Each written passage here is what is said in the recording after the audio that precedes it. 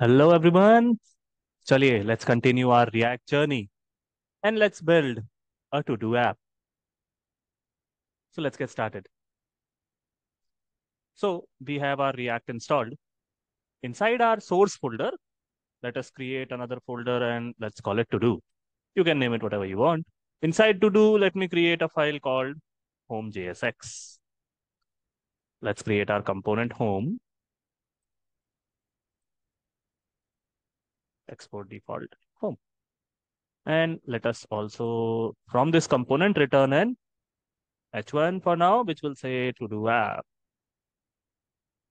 Let's go to the main file in React, main.jsx, and let's write this. Okay, import main from to do main.jsx, and let's call that main. You can ignore all the comments. It was from our previous code. Let's ignore that. Let's run our React. You already know the command for that, npm run dev. That is it. If we now go into our browser, hit refresh, you will find, hmm, to do main.jsx.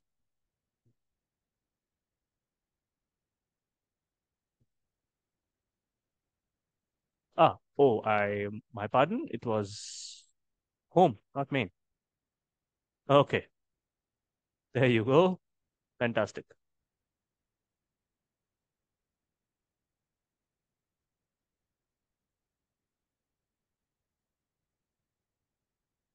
The first thing that we want is the UI, basic UI, the form, that is the input and uh, the button. You can create a form. आपको form चाहिए तो बनाइए और you can live without form as well. Form बनाना है या नहीं ये entirely आपके ऊपर है फ्रेगमेंट्स क्यों ये तो आपको पता ही है चलिए let's do it without the form if you want you can have the form as well and a button which will say add task there you go and also let us create a ul as well which will be blank for now let us also do this. Let's have this whole in a div. These three things in a div. This will be our basic UI. How does it look? Well, nothing much for now. Okay. Okay. The first thing that we would want is when I write something in this and when I click this button, इस button के click होने पर input में जो लिखा है, उसे store करना है कहीं। क्लिक होगा बटन पे, स्टोर होगी इनपुट की value. Now as you know हम डायरेक्टली डॉम मैनिपुलेशन रिएक्ट में नहीं करते इनर एच या वैल्यू क्वेरी सिलेक्टर इनका यूज़ नहीं करना है।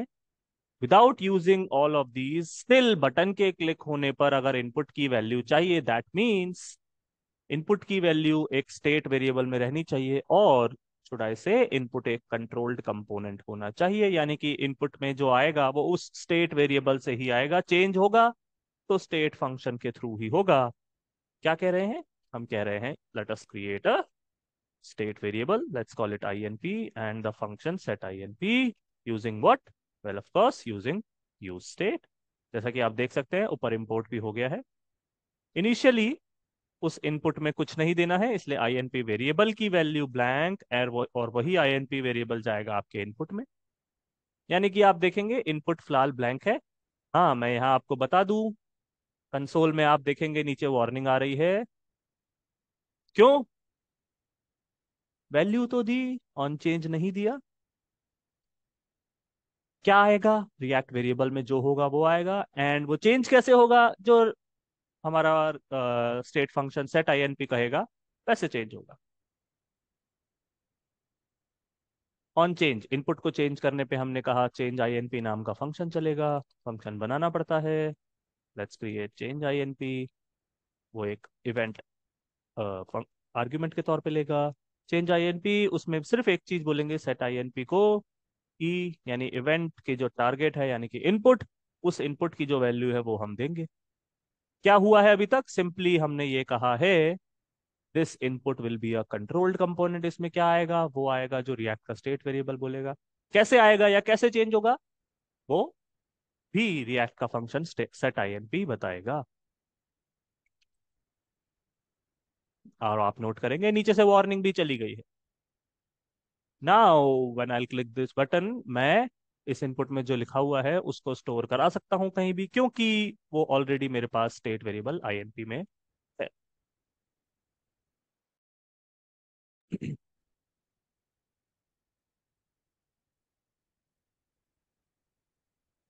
ऑन चेंज पे हमने कहा है, एक नेम्ड फ़ंक्शन चेंज आईएनपी चलेगा, जो कि फिर सेट आईएनपी को कॉल करेगा। चेंज आईएनपी सेट आईएनपी को कॉल करेगा ऑल्दो ये बिल्कुल सही है, इसको थोड़ा सा शॉर्ट बनाया जा सकता है। Instead of a named function change INP call set INP आप ऐसा भी कर सकते हैं। यहीं पे एक अनोनिमस फ़ंक्शन कॉल करते।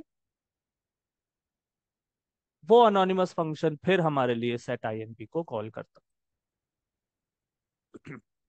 पहले क्या हो रहा था? चेंज पे डायरेक्टली हम नेम्ड फ़ंक्शन चेंज आईएनपी को कॉल कर रहे थे। वो सेट आईएनपी कॉल कर रहा था। अब ऑन चेंज पे फ़ंक्शन तो अभी भी कॉल हो रहा है। अनोनिमस वो हमारे लिए सेट आईएनपी को कॉल करेगा। चूँकि सेट आईएनपी को इवेंट चाहिए या इवेंट से रिलेटेड कुछ चाहिए, पहले इवेंट हमने चेंज आईएनपी को पास किया था, अब इवेंट इस अनोनिमस फ़ंक्शन को पास करेंगे। देन वहाँ से फिर वो सेट आईएनपी के पास जाएगा। सेट आईएनपी वो हमने कहा इवेंट तो नहीं, उसके टारगेट की वैल्यू उसको पास कर दो ताकि वो आईएनपी में चला जाए। काम अभी भी वही हो रहा है। इनपुट एक कंट्रोल्ड कंपोनेंट है। जैसा कि आप यहाँ देख पा रहे हैं। जैसे जैसे मैंने इनपुट में जो लिखा, वो नीचे वैल्यू में शो हुआ। चाहे अनोनिमस फ़ंक्शन के साथ करें, चाहे नेम्ड फ़ंक्शन के साथ इट्स योर चॉइस बटन के क्लिक पे कुछ करना है नेक्स्ट तो सबसे पहले तो इवेंट हैंडलिंग के लिए ऑन क्लिक लगा देते हैं। बटन के क्लिक पे चलिए एक फ़ंक्शन नेम्ड फ़ंक्शन चला देंगे add task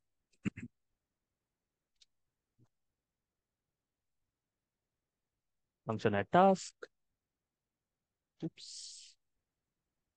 करेंगे इसमें कुछ, लेकिन पहले टास्क को स्टोर करने के लिए हमें चाहिए एक एरे मैंने कहा टास्क मल्टीपल चीज़ें हैं, इसलिए array task will be a blank array in the beginning function add task में, यानी कि बटन के क्लिक होने पर, यही आईएनपी को इसी एरे में डालना है।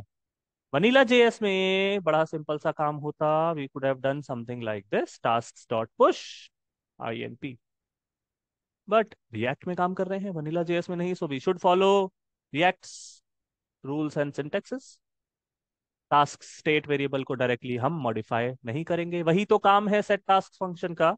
तो इंस्टेड ऑफ़ डूइंग दिस हम कॉल करेंगे सेट टास्क को। मॉडिफाई टास्क को ही करना है, उसके लिए सेट टास्क है, उसी के लिए सेट टास्क है तो सेट टास्क को कॉल किया।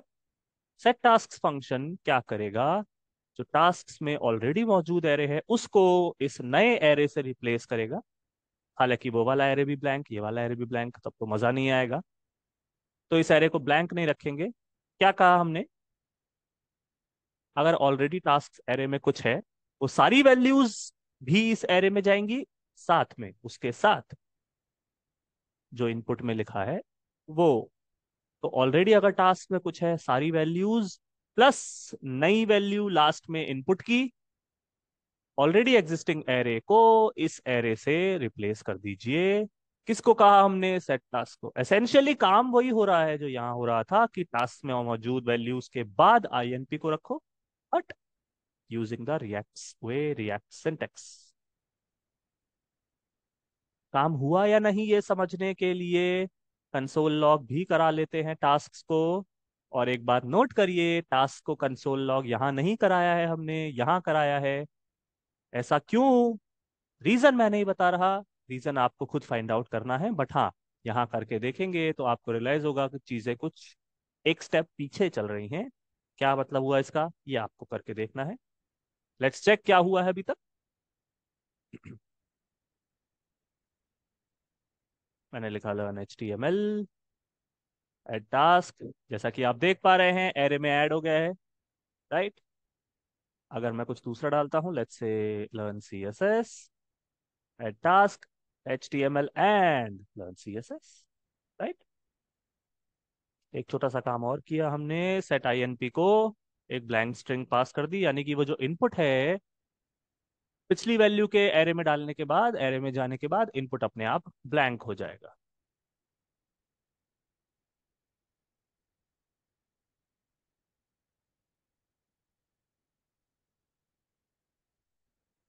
यानी कि जितना हम यहाँ लिख के बटन पे क्लिक करेंगे, वो वैल्यूज़ एरे में ऐड होती जाएँगी। हालाँकि उनको देखने के लिए अभी हमें कंसोल में जाना पड़ रहा है। वैल्यूज़ तो यहाँ प्रिंट करानी है। इफ़ यू रिमेंबर हमारे पास एक यूएल था। तो वैल्यूज़ उस यूएल में अगर एल आई बन के आ जाए तो कितना अच्छा क्योंकि यूएल में तो एल आई आता है। चलिए रिटर्न में चलते हैं। यहाँ पे लॉजिक लिखना है इसलिए कर्ली ब्रेस जितनी भी वैल्यूज़ जितने भी टास्क हैं, वो टास्क एरे में होंगे। तो हमने उसको करा लिया मैप फॉर या फॉर ईच नहीं because they do not have any return values return में फॉर और फॉर ईच काम नहीं करेंगे। मैप हायर ऑर्डर फ़ंक्शन है तो उसका कॉल बैक फ़ंक्शन पास किया।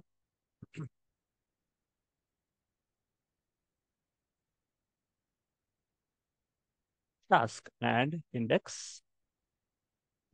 map return करता है कुछ। रिटर्न क्या? एक एल आई जिसमें कि वो टास्क हमने डाल दिया। जैसा कि आप देख पा रहे हो वार्निंग आ रही है बिकॉज़ मिसिंग की प्रॉप जब भी हम लूप के थ्रू एचटीएमएल एलिमेंट्स बनाएँगे रिएक्ट में, रिएक्ट को चाहिए each and every individual element को यूनिकली आइडेंटिफाई करने की कुछ प्रॉपर्टी एट्रीब्यूट सॉरी वो एट्रीब्यूट है की इंडेक्स जो हमने कॉल बैक फ़ंक्शन में लिया था, उसका इस्तेमाल ही यहाँ हो जाएगा. सो लेट्स सी क्या किया है हमने अभी तक? हमने अभी तक जो किया है, वो है कुछ ऐसा. मैं यहाँ लिखता हूँ learn H T M L add task पे क्लिक करते हैं. Tada let's see learn C S S add task पे क्लिक किया learn C S S input भी खाली हो गया। Great well good not great why although output तो अच्छा लग रहा है आउटपुट तो जैसा अभी आ रहा है, बाद में भी वैसा ही आएगा but this is not how we do things practically array में अभी जो पुश हो रहा है, वो है टास्क राइट जो भी हम इनपुट में लिख रहे हैं, और शुड आई से स्ट्रिंग एरे में हम पुश कराएँगे objects why objects because task string के अलावा मुझे एक यूनिक आइडेंटिफायर भी हर टास्क के साथ स्टोर कराना है सो दैट फ्यूचर में जब हम डिलीट एडिट अपडेट करेंगे तो उस यूनिक आइडेंटिफायर के सहारे कर सके। एब्सोल्यूट बेसिक वो ये था। Let's modify it a little input में जो हो रहा था वेरी गुड सही है। बटन के क्लिक होने पे अभी भी एड टास्क फ़ंक्शन चलेगा। Inside add task however let us first create an object उसमें हमने की डाली आईडी इस आईडी में हमने डाला एक predefined function date constructor से date dot now date dot now क्या देता है? जनवरी फ़र्स्ट 1970 रात के 12 बजे से जिस इंस्टेंस पे आप इस पेज को रन करेंगे, तब तक के पास हुए हुए सारे मिली सेकेंड्स आपको देगा। बेसिक टर्म्स में एक यूनिक वैल्यू देगा। एंड टास्क में जो भी आपने टास्क इनपुट में लिखा है, वो I N P state variable से सेट टास्क को आप instead of I N P अब ये पूरा का पूरा ऑब्जेक्ट पास करेंगे। बस डिफरेंस इतना सा ही था अभी तो यानी कि no one second one second एक और छोटा सा डिफरेंस ये टास्क अब चूँकि एक ऑब्जेक्ट है, थोड़ा सा चेंज करना पड़ेगा ओबीजे एंड ओबीजे ऑब्जेक्ट में से निकल के आएगा क्या? Task so OBJ dot task difference क्या है? विजुअली देखना चाहे तो देखिए, यहाँ पे देखिए क्या डिफरेंस है। लास्ट टाइम आपने देखा था एरे में ही स्ट्रिंग लर्न एच था ज़ीरो इंडेक्स पे लर्न सी था वन इंडेक्स पे। डिफरेंस अब देखिएगा आप। अभी एरे में ज़ीरो इंडेक्स पे ऑब्जेक्ट है, जिसमें टास्क इंडेक्स पे लर्न एच और आईडी पे एक यूनिक आइडेंटिफायर है millisecond from January first nineteen learn C S S अगर हम करते हैं एड टास्क पे क्लिक करते हैं तो हमारे पास क्या आ रहा है? ऑब्जेक्ट जिसमें ज़ीरो और वन दोनों पे माय बैड एरे आ रहा है जिसमें ज़ीरो और वन इंडेक्स दोनों पे ऑब्जेक्ट्स है। ये डिफरेंस है।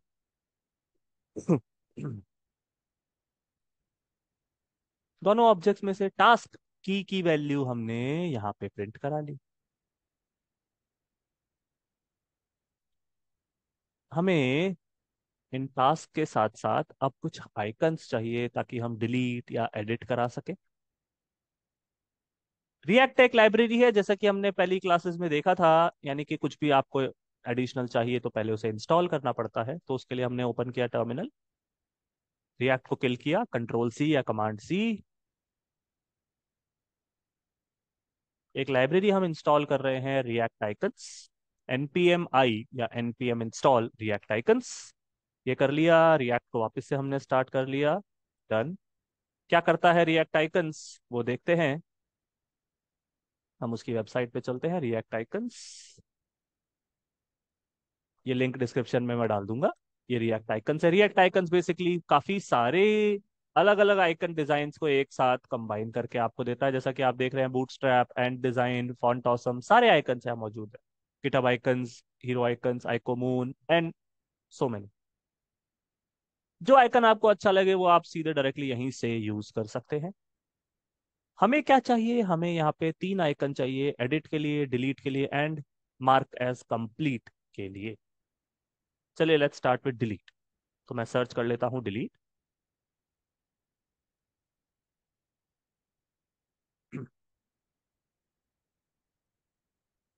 अब आप देख रहे हैं डिलीट में बहुत सारे आइकन आ रहे हैं। जो आपको अच्छा लगे पिक करिए, जैसे मैंने अगर इसको पिक किया all we need to do is copy this to R PS code paste it here L I जहाँ हम रिटर्न कर रहे थे एल आई तो अभी भी रिटर्न होगा। जो हमारा टास्क है, उसको हमने एक स्पैन में ले लिया टैग में ले लिया। और इसके साथ साथ वो जो नाम था आइकन का एम डी डिलीट वो हमने यहाँ पे टैग के रूप में डाल दिया। उप्स इसकी नीड नहीं है। इसी तरह एडिट का भी और मार्कस कंप्लीट का भी आइकन हम ले आते हैं एक बार। And let's take this one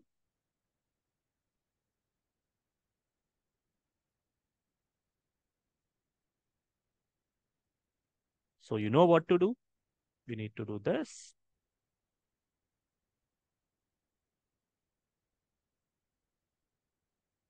Yeah, let's take this one from Font Awesome.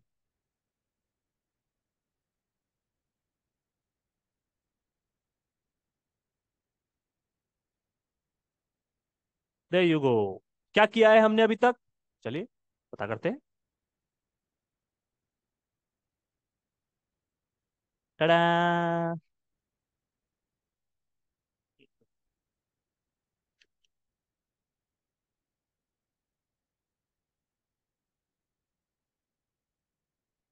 There you go.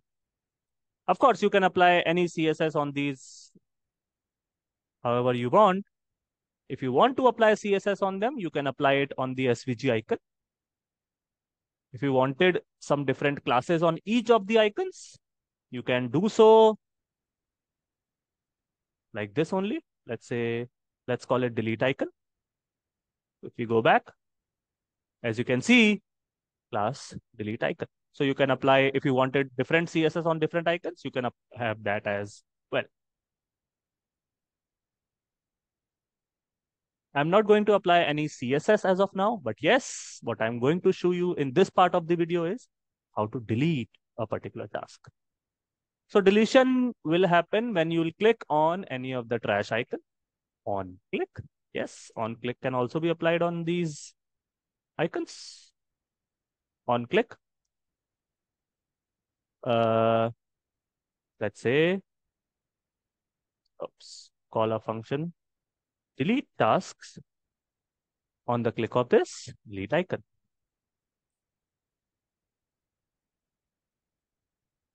We don't need this console anymore, so let's remove it. Function, delete task. this delete task will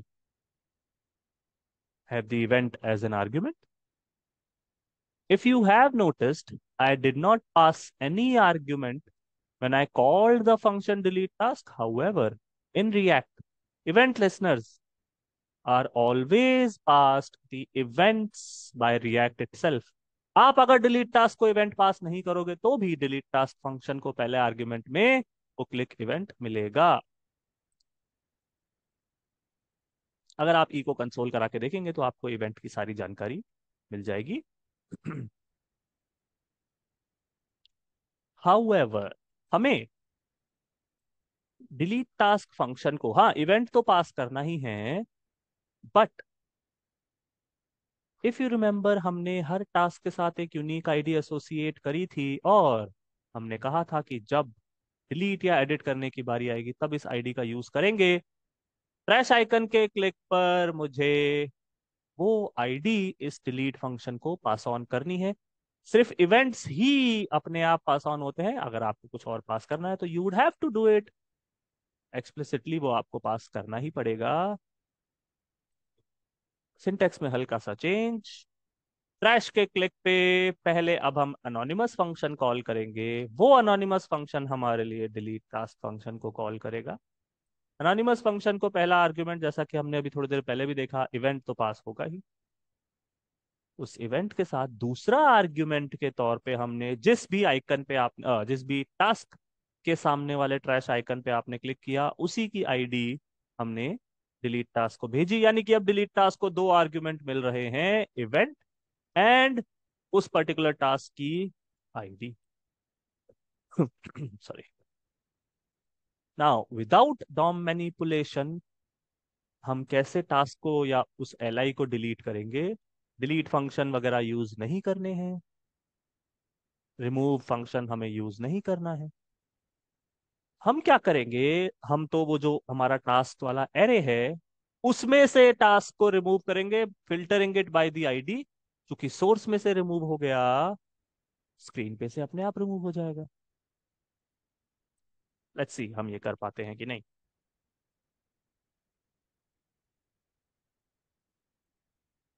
यहाँ पे हम एक higher order function का use कर लेंगे।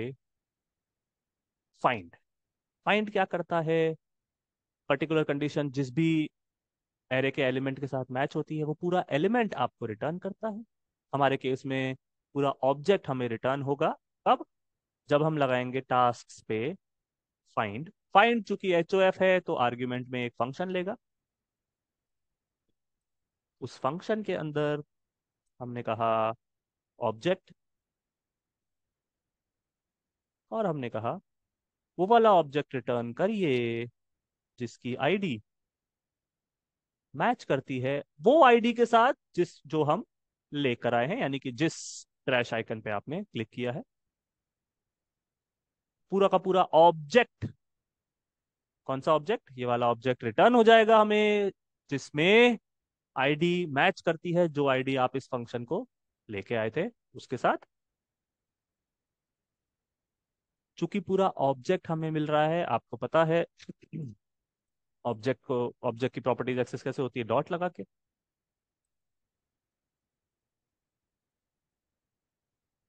क्या? चलिए इसको दो स्टेप में ही करते हैं। वो पूरा ऑब्जेक्ट हमने एक वेरिएबल में ले लिया। Let's call it task to delete task to delete को अगर आप कंसोल करा के देखेंगे तो कि देख लेते हैं एक बार, क्या आ रहा है उसमें? क्या किया हमने अभी तक? हमने अभी तक ये किया कि अगर हम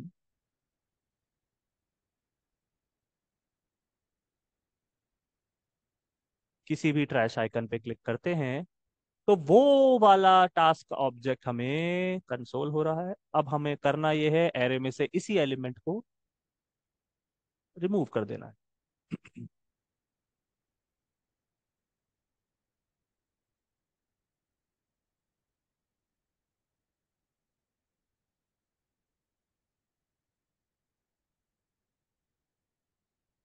हम्म। ओके, चलो अप्रोच हल्की सी चेंज करते हैं। अदरवाइज़ हमें लंबा चलना पड़ेगा। अब हमें फ़िल्टर भी लगाना पड़ेगा। Okay let's slightly change our approach don't worry just slightly only तो टास्क टू डिलीट में क्या आया वो तो आपने देखा था। किसी वेरिएबल में ना लेके उसे। किसी वेरिएबल में ना लेके। आपको पता है रिटर्न क्या हो रहा है? रिटर्न तो वो ऑब्जेक्ट हो रहा है। फाइंड एक हायर ऑर्डर फ़ंक्शन है राइट ठीक उसी तरह। एक फ़ंक्शन है फाइंड इंडेक्स फाइंड और फाइंड इंडेक्स में डिफरेंस क्या है? फाइंड ने आपको वो पूरा ऑब्जेक्ट दिया था। फाइंड इंडेक्स आपको देगा वो ऑब्जेक्ट एरे टास्क में किस इंडेक्स पर है? Zero one two three four वो इंडेक्स क्यों लिया वो index let's call it index to delete index to delete index मिल जाएगा तो हम फ़िल्टर में वो इंडेक्स डायरेक्टली डाल सकते हैं, या इवन स्प्लाइस भी अगर आप करना चाहें तो स्प्लाइस में भी वो आप इंडेक्स डाल सकते हैं।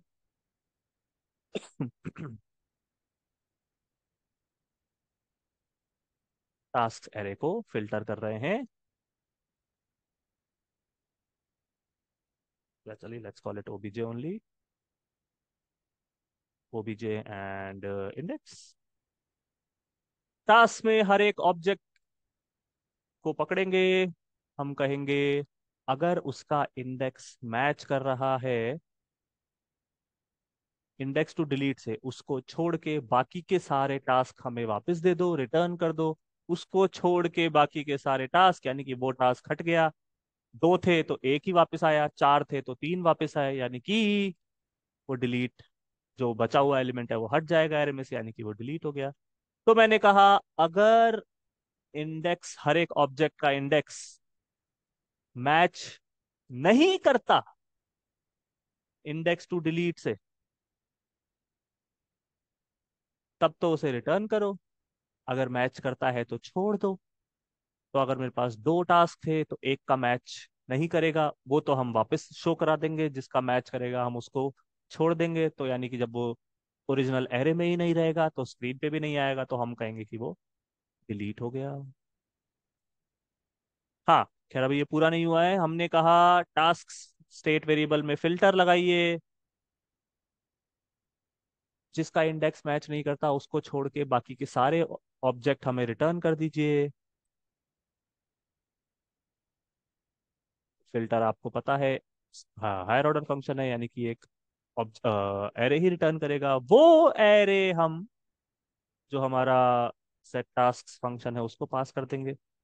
तो सेट टास्क जो भी इससे रिटर्न हो रहा है, वो टास्क में डालेगा, यानी टास्क में जो पुराना एरे था, जिसमें दो ऑब्जेक्ट थे, उसमें से एक ऑब्जेक्ट हट जाएगा। सिर्फ़ वही वाला ऑब्जेक्ट बचेगा, वही वाला टास्क आपको स्क्रीन पे दिखेगा, जो आपने डिलीट नहीं किया है। देखते हैं क्या हो रहा है।